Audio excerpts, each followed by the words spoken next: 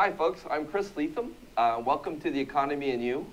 Um, today's guest is none other than the famous Jay Fidell, who's joining us today as my guest. Um, and we're going to talk a little bit today, I think, on a uh, on a topic that I have been thinking about for a long time. Uh, I wanted to do a show on it, um, and that's, you know, a show about uh, understanding a little bit about retirement plans and a little bit about finance.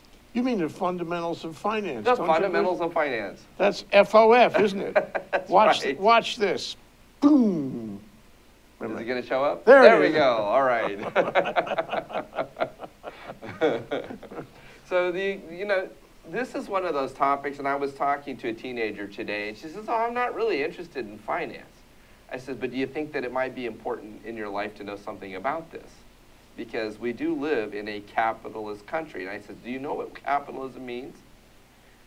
She says, "I don't know." I said, "It means money." This is a, an economy. We live in a country where the economy is money driven. And Wall Street and uh, Wall Street is a perfect example of what happens. The, the, the, the challenge is, though, Jay, there's a lot of young people out there today that really do not have a core or even a basic grasp of what is going on on, on Wall Street. You know, they, they flip to the channel, and that's the channel that they flip through, CNBC or some of these other channels that talk about what's going on on Wall Street. And I think they flip through them because they don't really understand the vocabulary, the language, or the nuances of what's going on, what, what people are talking about. So I wanted to touch on that just a little bit today. Is that okay? Thoughts. Okay, back in the early days of cable, which meant uh, the early 80s, Mm-hmm. um, there was uh, CNBC. I mean, or it, just came up at the time, you know. Uh-huh. And uh, Maria Bartiromo, remember her and all this? mhm. And it was the day when you could wake up and, and look at cable and you could be in touch with the stock market. That was the first time it really happened. You know, Wall Street, in Wall Street uh, this, this week, remember that? That was, that was good. But that was once a week for half an hour. Yeah. Uh, and it only covered three or four stocks. Now, in the early 80s with cable, um, we, could, we could see minute to minute through pretty much the whole trading day what was going on on the floor. Of the, st- we could see it, and we could hear commentators about it, and we could get graphic representations across the street, screen. And this was new, really new. This was better than listening. To, in fact, I don't think it was on the radio. It was only on cable. It was on cable, and today was a perfect example. Uh, uh, uh, Yellen was talking about uh, our new head of the Federal Reserve. Um, she was talking, and as she was talking, they had a ticker up by her head Scary. showing the impact on the bond market and the stock market as she was speaking. And she was saying that they're going to have to raise interest rates come soon.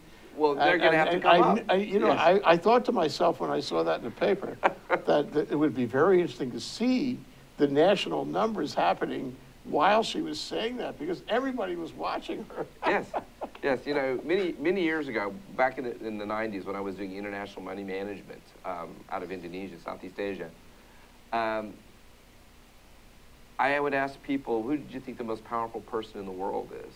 And they would say that the chair of the Federal Reserve, that is the most important person and most powerful person in the world. Because what happens on Wall Street has a ripple effect through Everywhere. all the other markets, all the other economies of the world. So, there you are, the most powerful person in the world. So let me go further. Okay. So, so now for the first time, we could actually see the floor of the stock market while it was happening. And we could hear people calling up with these long cameras, you know, and Uh-huh. all wired up to tell us what was happening. And um, there were, in those days, the term day trader became, became common. In those days, the middle class, the, um, the young executives, uh, young professionals, uh, they became, if not day traders, they became actively involved in the market. Yes. Uh, and I'll never forget, I, I said to myself that life has changed when the electrician who was working in my house came around and, and began to give me stock advice. Yeah. Um, because everybody was into it. At that point, you should be concerned. But you know, it was, a whole culture point. It was a, it was a change, and everyone you knew was involved in the market. Mm. Everyone was invested. Everyone was trying to make a fast buck in the market. Um, that that isn't. I don't see that happening now. I think things have changed since then. Things are changing. Um, some of the instruments have changed, some of the policies. You know, there's a tax incentive in play today that if you, if you hold on to a stock for at least a year, that it gets treated as an investment, and so the tax rate is at fifteen percent, as opposed to if it's held for less than that, it's treated as regular income. And so you, they've incentivized properly so. Well, that's it's- not new, is it? The- treated Well, it's as been around a capital few gain. years. It's tr- treated as a capital gain. Yeah. Um, But it is incentivized investing over trading or playing the market. So there are people who say, okay, here's my serious money, I'm gonna invest it for the long term.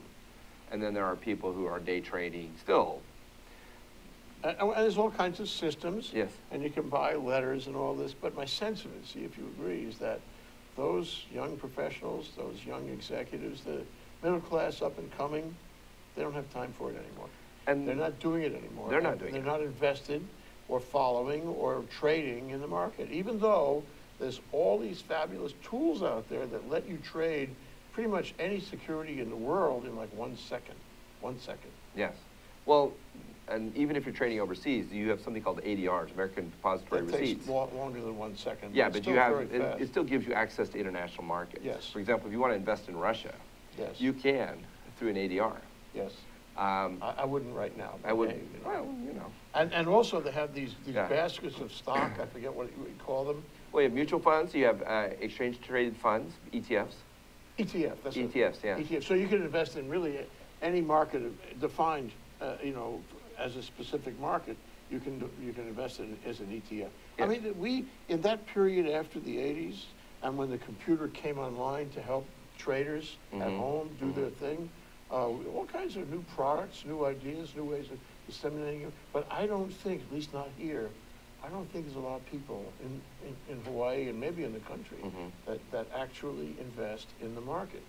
And this, and I, I know you want to talk about retirement plans, but this is a large thing. This is a big thing. Because, you know, as you say, Yeah. in a capitalist society, you want to have a lot of people investing. You need to have people investing. What, what we have instead is a kind of disparity, and the disparity is the rich guys are Mhm. richer and the middle class is poorer.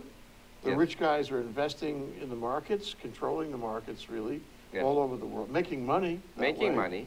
And yes. the other guys have no knowledge, no interest, no participation, and so they don't, they don't have investment accounts by which they can retire. Well, they, yeah, and here's the, here's the thing, Jay. When you're, when you're young, I was 25 years old the first time somebody took me down to Charles Schwab and said, let me teach you about the stock market. 25. I- Was I- it last year? or year before? Yeah, yeah, a couple years ago. Um, so anyhow, I, this gentleman took me down there graciously because he really thought that this is something that I needed to know. And he was an older gentleman who befriended me, and uh, his name was Tony Farias. Um, and uh, he took me down there with a couple of other friends, and he said, "Let me show you guys how this thing works," you know. And that was my first exposure to the stock market. I didn't understand a bid or an ask, or I didn't understand the difference between a bond, a mutual fund, uh, a stock, and I really didn't understand how to invest in any of these instruments. Um, today, the instru- instruments are even more complicated. You've got ETFs, you've got options, you've got futures, Derivatives. you've got derivatives, yes, and we've got deriv- layers of derivatives, and we have the VIX, which is if, if you weren't confounded by derivatives, here's something called the VIX, which blows everything Well, away. You know, back in the early Yes. eighties with CNBC, they would stop every few minutes and they would teach you about this. And Yeah. If you watched for, you know, an hour a day, uh, maybe that's a lot, but you watch for an hour a day, you learn a lot. You become a day trader or have the ability. Now, they don't do that. They assume that you know. They're not gonna stop and just teach you about it. And that's another change. Yes.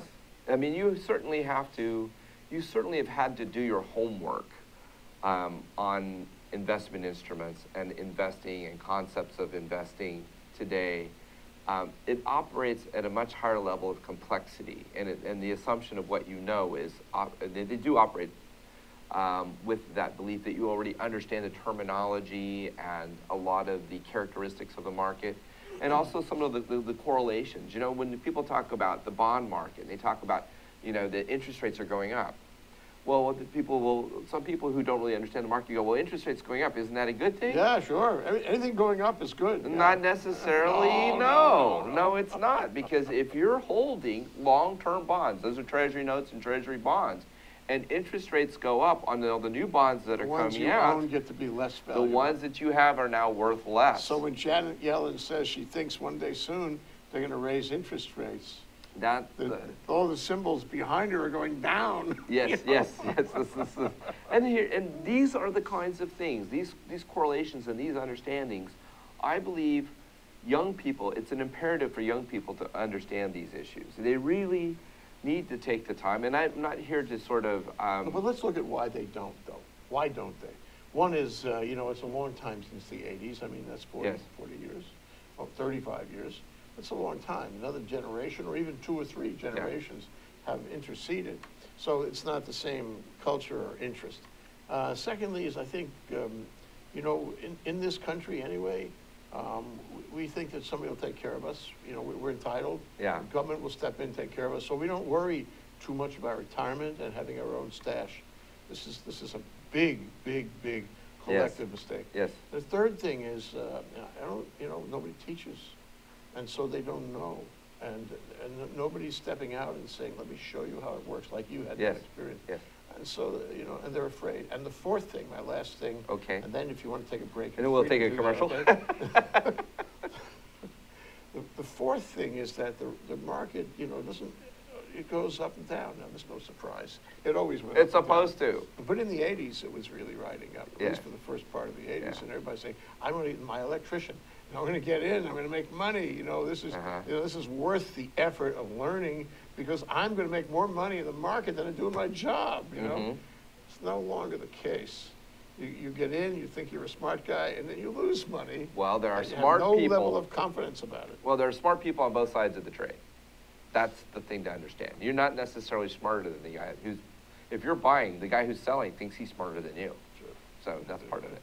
Let's come back. I want to talk a little bit more about this and get into some of the actual nomenclature or terminology um, that young people might really find helpful. Great. Okay, we'll be right back. I'm Chris Lethem, and this is Economy and You. Stay tuned. Aloha.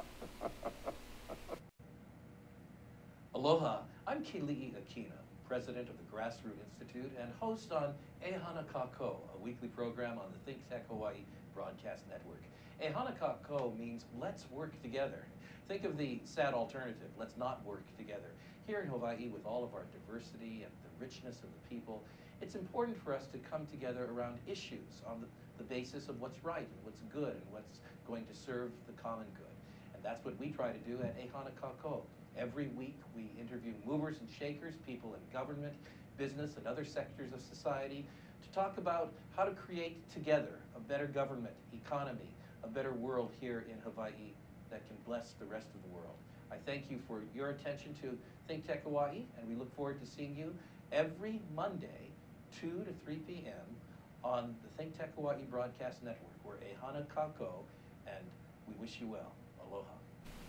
Aloha, we're back. I'm Chris Lethem. This is The Economy and You. Today's guest is Jay Fidell. Um, I'm still getting used to this new studio, Jay. I have to tell you, I got the two cameras here. I got uh, the cameras and the videos. I'm not quite sure where to look. But um, If you want to say it's beautiful, feel it is that. gorgeous, though. It's absolutely beautiful. gorgeous. Yeah, yeah, yeah, it is.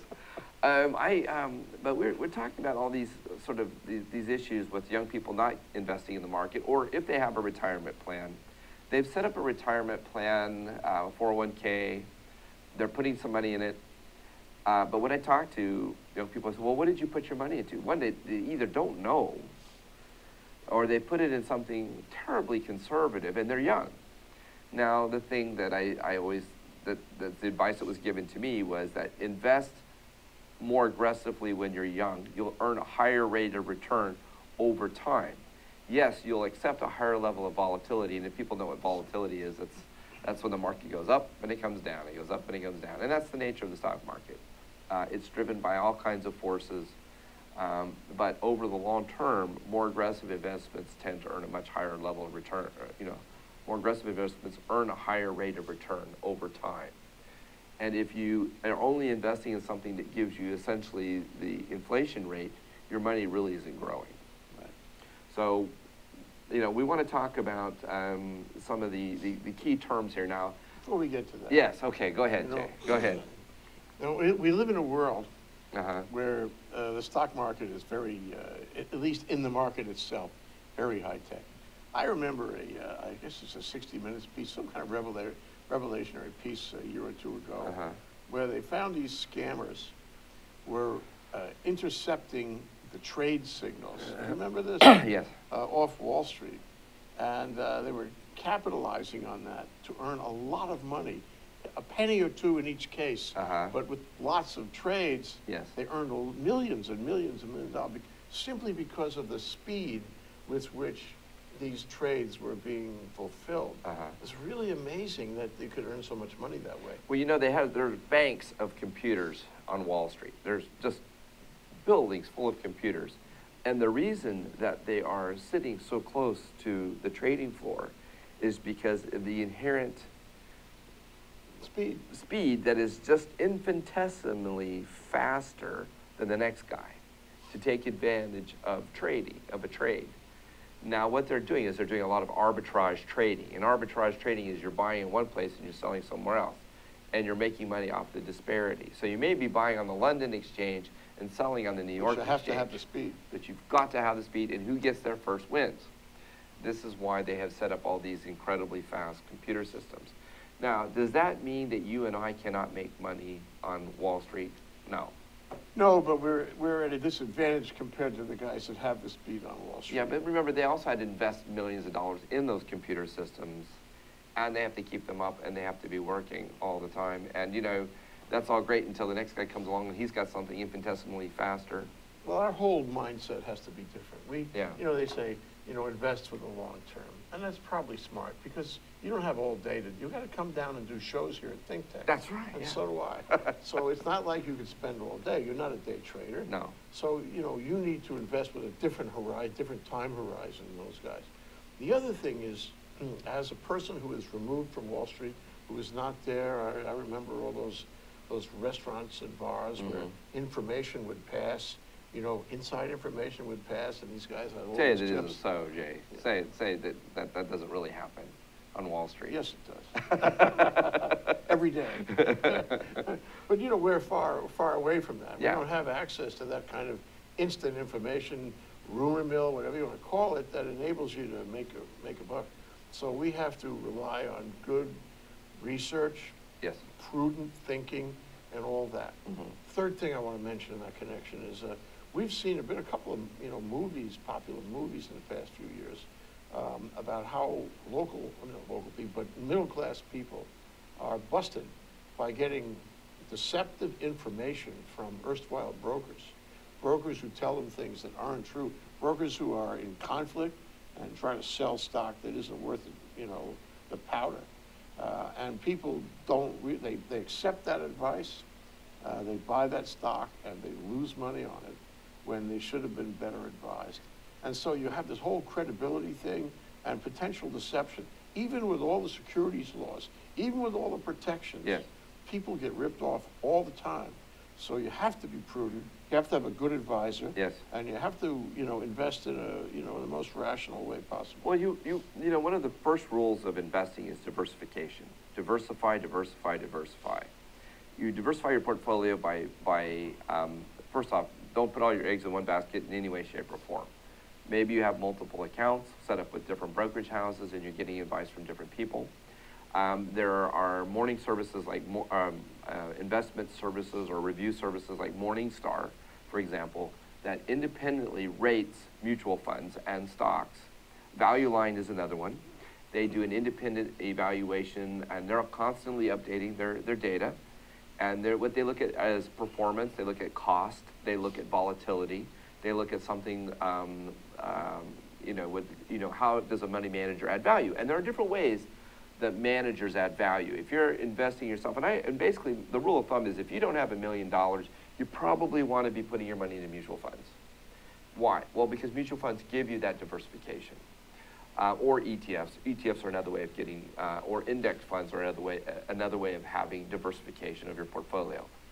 Um, and that helps to mitigate those sort of investments that you make from bad brokers and people like No, that. you can have bad mutual funds too. There's You no- can. There's no law against a bad mutual fund, and uh, you can, you know, you can bypass the, uh, the research aspect and, and take it on say-so. Maybe your electrician will tell you which mutual fund he likes. Or your shoe shine guy, Or your you know. shoe shine yeah, guy, yeah, and yeah. before you know it, you lost your money. Yes. Uh, with a mutual fund, with all kinds of prospecti and this and that. Uh-huh. So research does pay off, and there are lots of ways. Third party, you know, uh, uh, Mhm. ra- you know, what's the word I'm looking for? You know, credible, Rep- reputable. reputable sources of information and rating information. Right. Rating one mutual fund against another. But you know, if you don't watch out, you're going to be in the bottom of the pile with. They're going to lose it.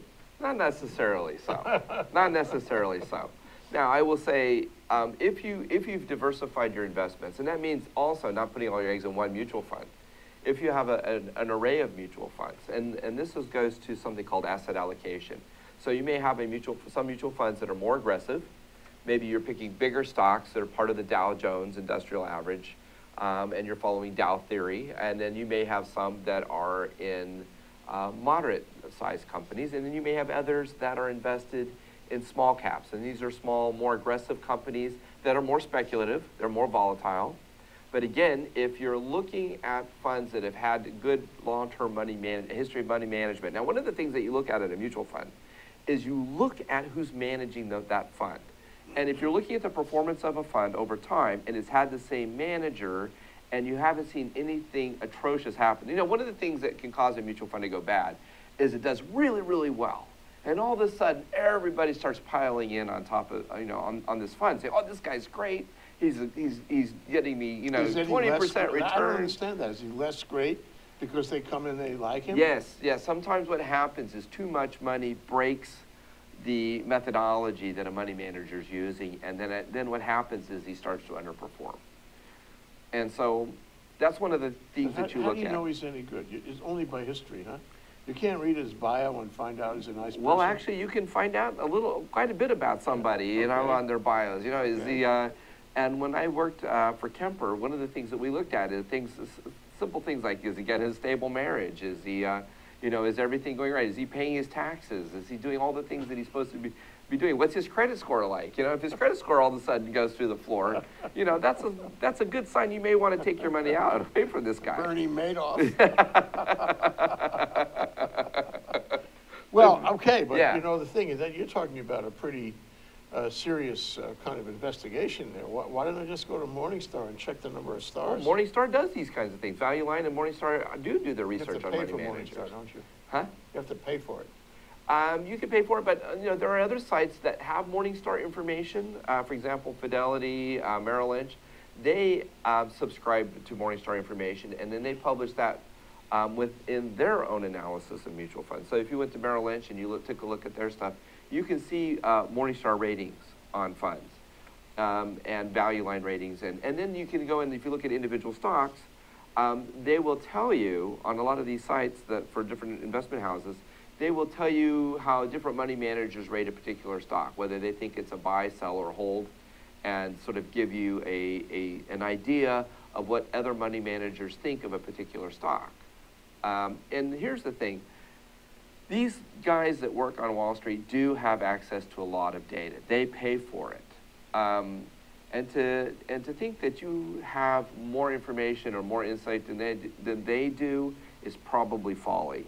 Okay, so it's good. It's there are lots of resources to help you, and you want to invest according to your own risk tolerance. But before you get to that, Yes. though, you know, you may, you may, I mean, I'm mechanical about this, okay? Okay. I look at, I look at rating system one, Okay. and then I look at rating system two, and I look at rating system three, and maybe even four, Uh huh. okay? And if I see that all three or four of them say, yes, buy that mutual fund or Yeah. buy that stock, Uh huh. I feel pretty comfortable. Not, not necessarily that I'm sure I'm gonna make money with it, but because I'm doing the right thing. I'm satisfying my need, you know, to, to do the due diligence.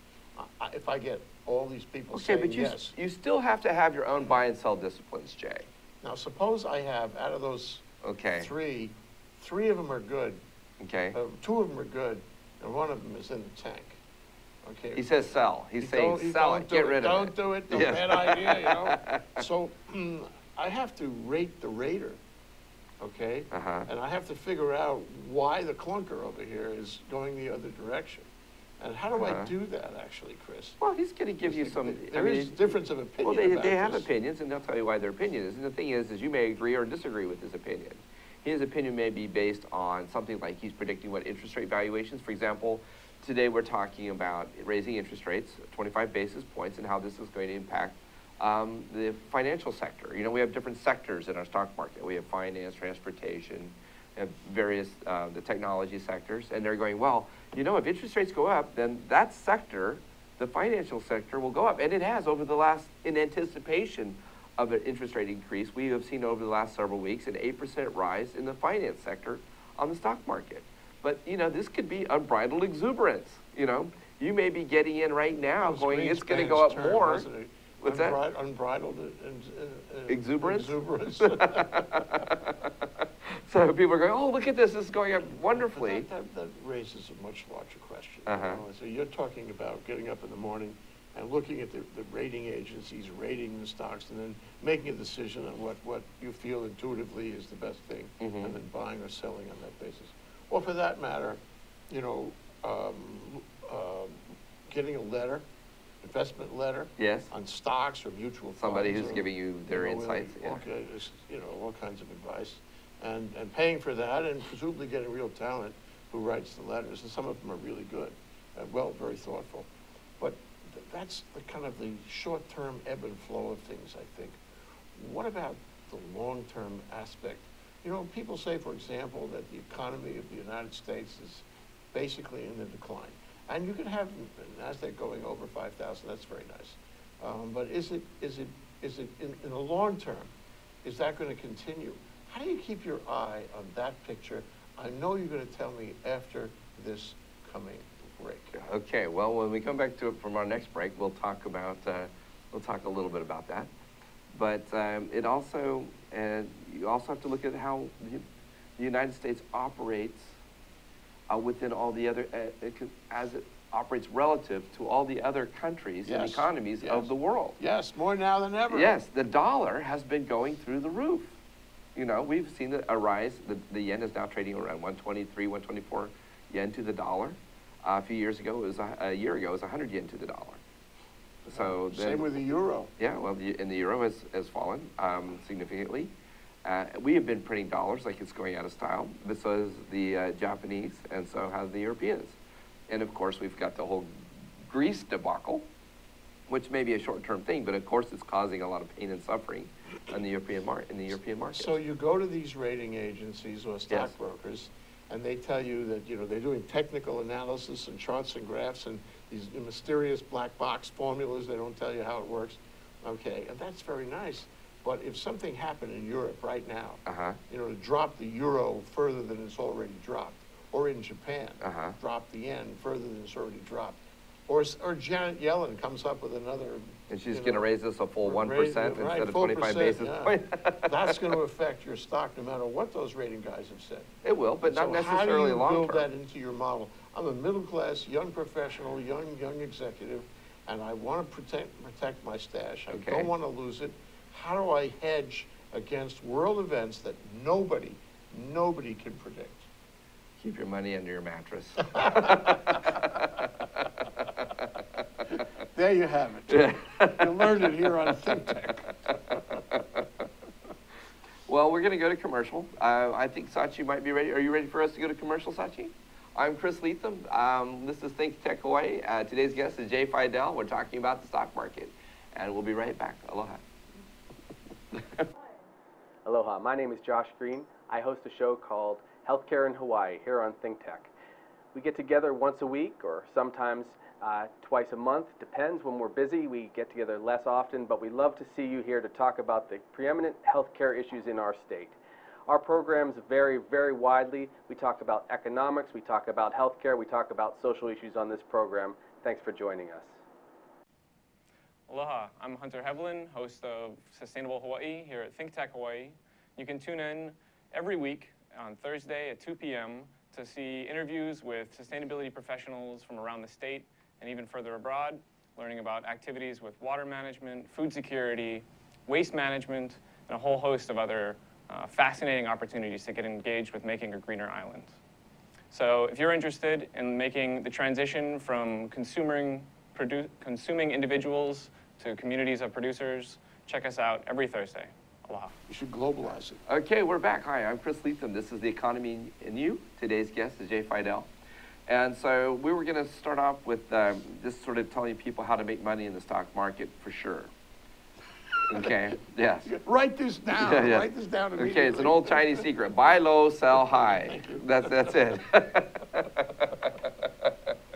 so, um, but you know, I think one of the things that, that scares people is they don't really understand all the terminology and all the correlations.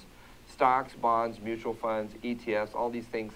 I just want people to know that they can go to places like Fidelity or Merrill Lynch. They can call these people up, and they are so happy on the phone to sit there and explain to you in detail how all these things work. Um, so don't be afraid to pick up a phone and just ask somebody, you know, call these people and say, hey, look, I really don't understand this stuff. Could you explain it to me? Um, and they are very happy to sit there and talk with you. You know, I remember years ago, I don't think you can do this now, Uh-huh. but I had, I had one connection with one stockbroker, and they were open like 24 hours a day, and they had guys who would talk to you. And uh, I, I, I was working hard. I'd be leaving my office here downtown at like 10 o'clock at night. And uh, invariably, those are the days when you could actually get a cell phone and, uh, and call from your car. Remember those? That's a long time ago. I, I don't could remember Actually this. make a call. From your car? From your car, you You can make a car phone. how about that? Okay. Okay, so and I It's would like the call- Batmobile. I would call this particular stock house, Uh-huh. and invariably, there would be somebody there in a matter of seconds, and he would be my, my guru, Uh-huh. my, uh, my therapist. I would tell him how my day was, he would Yes. tell me how his day. This is, you know, thousands of guys were out there performing the service. But the idea was that we could talk about, we did talk, and they were willing and authorized to talk about global events and how those things would affect the market. I thought that was very useful, because I think, you know, you do better if you always have a, a kind of a global view of it, uh, and that, you know, you can, you can feel it coming one way or the other. You can feel events that, Wall, I mean, Wall Street, they're all mammals too, you know. You can Mhm. quote me on this, they're all mammals on Wall Street. yes. And they react to the global events too. They do, and they're very reactionary. You know, one of the things that you that actually works in your favor if you watch watch people on Wall Street, they are very reactionary to to the events that occur around the world, and they tend to oversell and overbuy things based on very reactionary uh, activities. And and a lot of this is driven by options trading. You know, options traders tend to drive the prices of stocks uh, up and down very in a very leveraged, volatile. Yeah, highly they, it's leveraged. highly leveraged, and so what happens is it tends to push stocks up and down a lot more than they really would, except for what happens on the options market. But if you want to talk about the impact globally about what happens, you know, when we talk about investing for the long term, you know, we do have to take a look. We're no longer isolated within the United States. We are part of a world economy, and things what what goes on in Russia, what goes on in Iran, what goes on in Europe and Japan and China, all has an impact on us. Uh, we are now talking about a, a uh, this new uh, Pacific Trade Agreement, TPP. TPP. You know, that is going to have an impact on our markets. It's going to have an impact on our economy. It's going to have an, um, you know, a lot of corporations today are multinational. Um, for example, we just saw today in the news, we saw that there is now Uber uh, has to now start treating its drivers as employees instead of uh, independent contractors. Well, that's going to have a huge impact on their business model. Only if it gets affirmed. Only if it gets It's- affirmed. The news is that it's on appeal. That's what the news is. Yeah, yeah. Uh, but in, in these kinds of legal, you know, there are always risks. There are, are inherent risks with, um, you know, cur- currency valuations. Obviously, if you're a Japanese investor and you had invested in the United States, no matter what you bought, just the mere fact that the currency has gone up by 20, over 20% in the last year means that you're a big time winner So is this, as a Jap- from a is Japanese this too perspective. much for me? I mean, suppose I'm the guy down the block or, you know, across town, Uh-huh. who's my, you know, young professional, young executive, what have you, you know, making a middle-class living. Um, Is this overwhelming for me? Should, and I think a lot of people, it is overwhelming. They don't want to, they don't want to go into those places, you know. Th- Thank you, thank you, Chris Lethem, uh, but we don't want to know about this because it's too complicated for us, and we're going to lose our money if we do that. So we're not doing it. Well, there, and therein lies the rub, isn't it, Jay? I mean, therein lies the rub, because if you don't play, you can't win.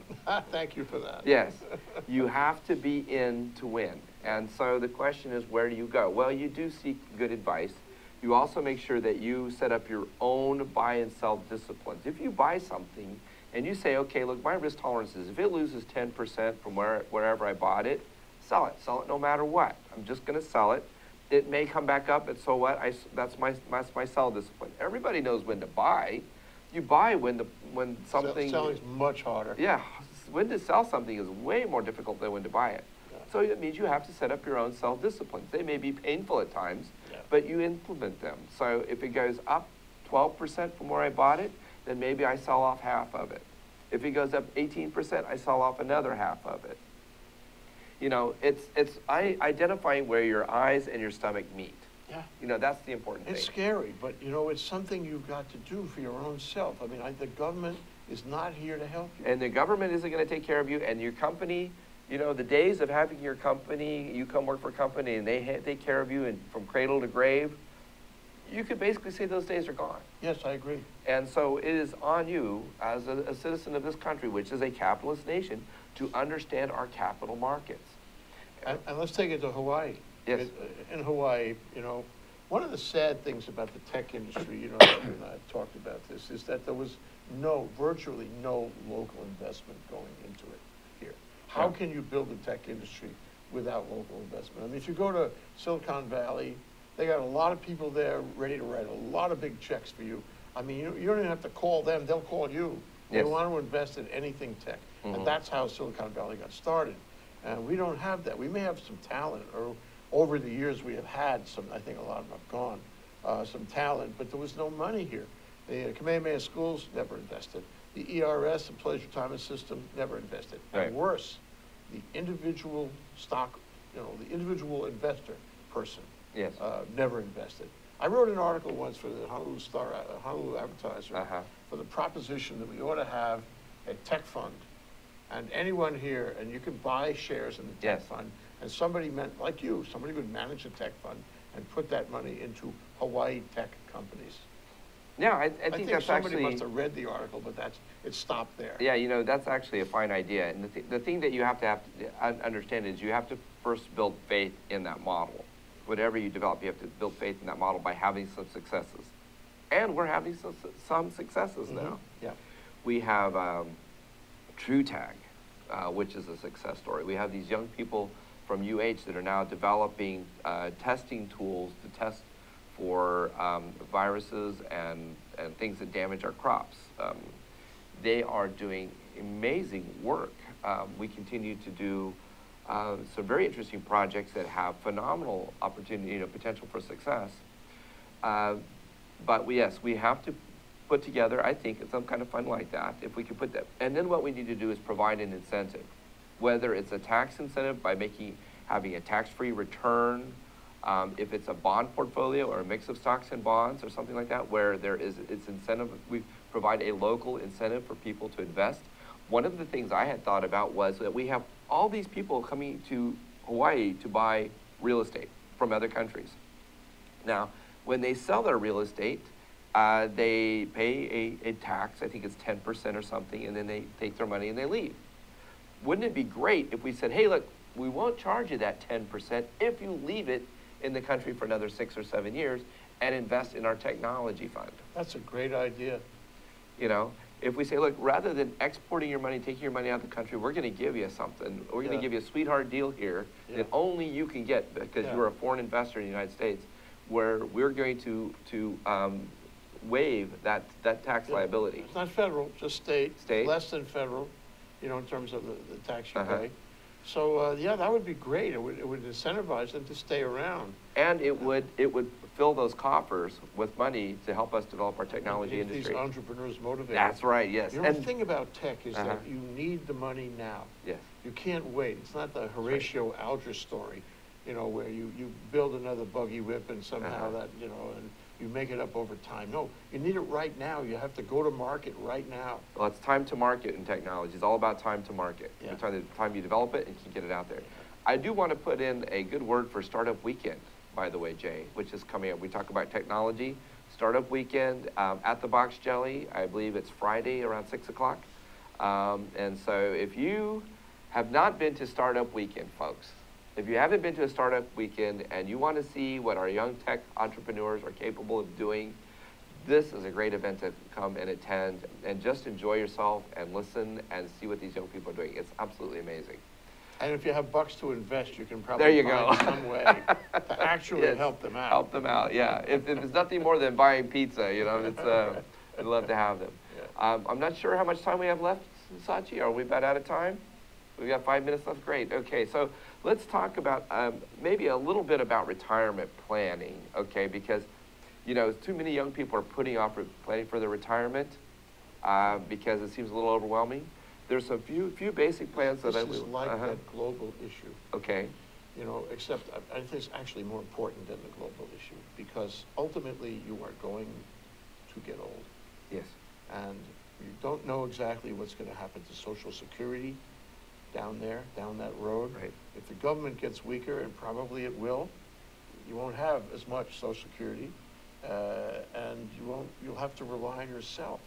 And we have multiple generations in the pipeline now who are not saving for retirement. They're not saving for retirement. You're not forced to. It's not like Right. Obamacare, you know, where you must do it.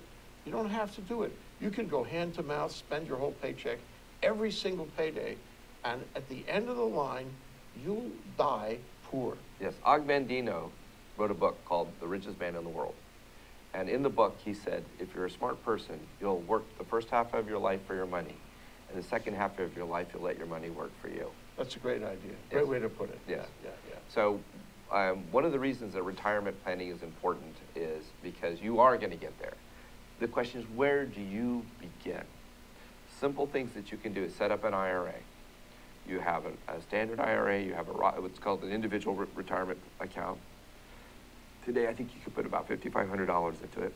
You can do a Roth IRA, which allows you to put in after-tax dollars. You can do, um, and then you have something called a 401k plan, which a 401k plan is a sort of an addendum to a profit sharing or what they call a defined contribution plan. A defined contribution plan is a plan where you, the, the laws define how much you can put in or contribute.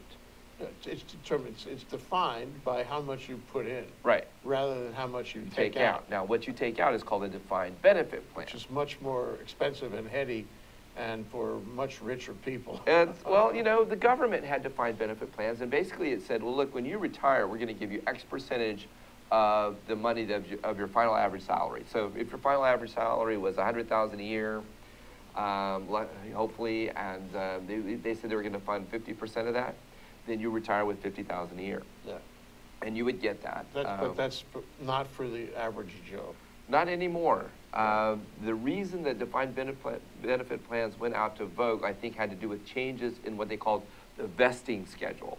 The vesting schedule used to be uh, a much longer duration where you had a 20, 40, 60, 80, 100 uh, percent, and it took many years to get fully vested. Today, the vesting schedule is much shorter. By So by the end of three years, It's you're fully law. vested by law. They changed the laws, right? So the Yeah. vesting schedules uh, became much tighter. The rules became much more uh, strict about how much money you had to put in for each employee. Uh, more employees had to be participating in the plan. And so um, But the that changed. old-fashioned pension profit-sharing plans Yes. are no longer popular among employers, and they Right. don't have to create them. They don't have to form them. Yes. uh, And now it's all about 401K and, and some of these other products. Right. Well, what they've, what they've done is they've uh, basically said, here's the liability, because there was a liability that came with it. And they said, you know, we no longer want to accept that liability. We're going to give it to you, the employee. Your liability of managing it, Managing the money, yes. And so now that's why we have IRAs and uh, 401ks. where the employee manages. Yes. And if he doesn't do due diligence, makes some mistakes about buying stocks or bonds, it's his problem. That's right. Which is, I mean, you know, that sounds very Republican, I'm Yes. sorry to say. well, let's do another show. We can talk more about this. Um, and thank you for watching today. Uh, this is The Economy and You. This is uh, with Chris Lethem and Jay Fidell. And look forward to seeing you next week, Wednesday at 3 p.m. Aloha.